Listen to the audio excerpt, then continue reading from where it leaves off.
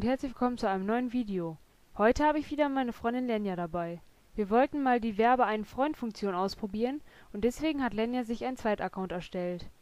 Das Videomaterial ist vom 7.9.2017. Ich habe ein paar Szenen aufgenommen, wie sie ihre ersten Schritte im neuen Account macht und sie zu einem Musikvideo zusammengeschnitten. Viel Spaß mit dem Video.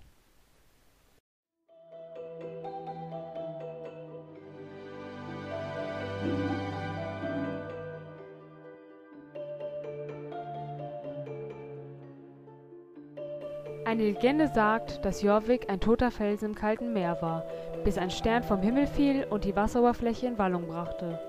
Durch den Aufprall des Sterns entstand ein schwaches Leuchten, aus dem ein Mädchen auf einem Pferd hervortrat. Sie ritt behutsam über das Wasser und beruhigte die Oberfläche. In ihrer rechten Hand trug sie ein Licht. Das Mädchen ritt auf ihrem Pferd zur toten Insel und stellte das Licht in ihre Mitte. Sofort sprühte das pure Leben aus dem Fels, und der einst so kalte und dunkle Ort wurde warm und hell. Jorvik hatte immer eine spezielle Verbindung zu seinen Pferden, und manche behaupten, dass sie die Seele der Insel sind. Du bist nach Jorvik gekommen, um den Sommer in den Moorlandstellen zu verbringen, wo du dich um dein eigenes Pferd kümmern wirst.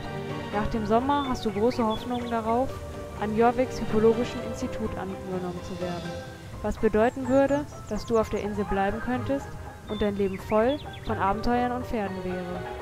Die Legende besagt, dass in Zeiten der Verzweiflung und Dunkelheit ein weiteres Mädchen die Insel auf dem Rücken ihres Pferdes retten wird. Bist du dieses Mädchen?